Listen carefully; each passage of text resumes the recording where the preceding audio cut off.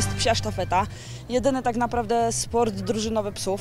E, polega on na tym, że psy muszą przebiec przez te przeszkody, które tam widać, dotknąć boksu, pobrać piłeczkę i tym samą stroną, e, czyli tymi samymi przeszkodami powrócić do swojego handlera, czyli właściciela bądź osoby, która tego pieska puszcza.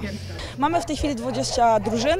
Tak naprawdę liczy się szybkość, bezbłędność, czyli pies nie może tej piłki puścić e, wracając. Też jak wbiega następny pies z drużyny, muszą się w odpowiednim czasie minąć w fotokomórce, czyli w, tak, w tym urządzeniu pierwszym.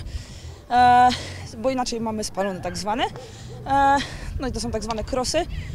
No i na tym w sumie to polega, tak są oceniane psy. Tak naprawdę drużyna wygrywa ta, e, która pokona bezbłędnie tor i jak najszybciej. Większość naszych, naszych psów, akurat tutaj, które biegają w, dzisiaj, e, to są psy już bardzo dobrze przygotowane, bo biegają od lat. Mamy najstarszego psa na zawodach, podejrzewam, bo mamy psa, który ma już 10 lat i właściwie całe swoje życie biega flyball, więc mamy super przygotowane psy w świetnej formie.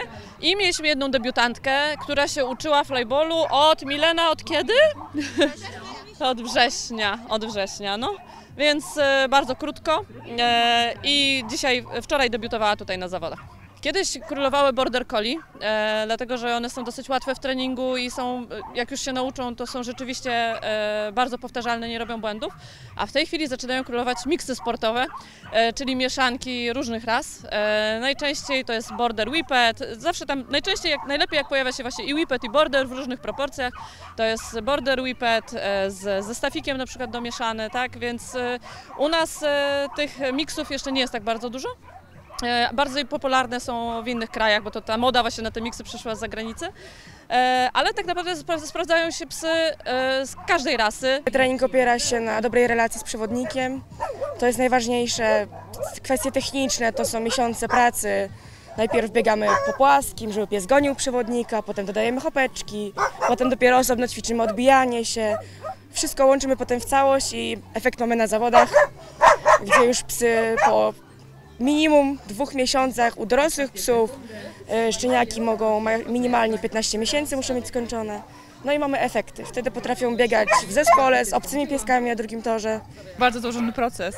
Choć najgorsze jest to, że trzeba każdy element, czyli jak widzicie cały przebieg na torze, to to jest najtrudniejsze, że każdy element się psa uczy osobno.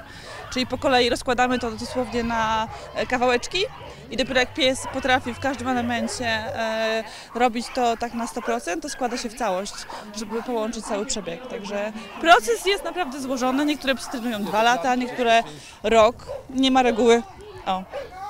Wiadomo, to jest tylko pies, to jest natura. E, Także robią co chcą czasami, nie mają ochoty, czasami nie współpracują, a czasami po prostu wchodzisz ty jako przewodnik i masz już dość, a ten pies po prostu robi z siebie wszystko, nie? I to tak napawa w serduszku nadzieją.